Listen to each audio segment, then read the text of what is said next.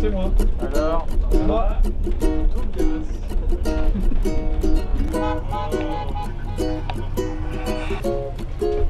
Regarde des canards.